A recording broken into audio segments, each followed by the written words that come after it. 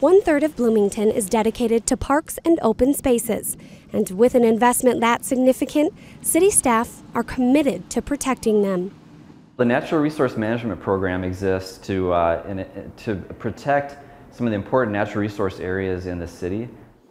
According to Morrison, buckthorn has been a presence in Bloomington for some time. And although the Parks and Recreation Division hosts a buckthorn removal day each year, those efforts haven't gotten ahead of the rapidly growing plant.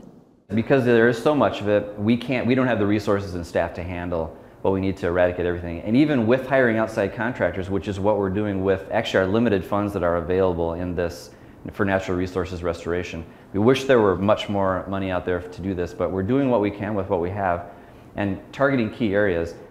Minnesota Native Landscapes is a company that specializes in the restoration of many ecological systems, and in Bloomington, crews are focusing on woodland restoration.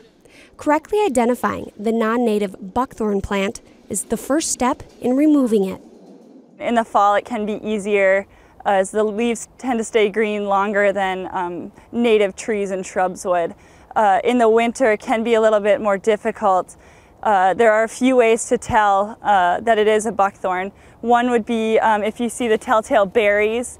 Um, the female, female plants will have berries on that'll stay on through the whole winter.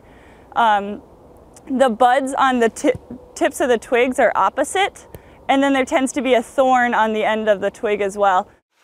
After buckthorn is identified, a brush saw, which is a large weed whip with a saw blade on the end, is used to cut the plant at its base.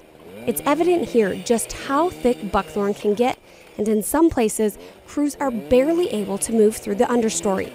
The next step is to chemically treat the left behind stumps.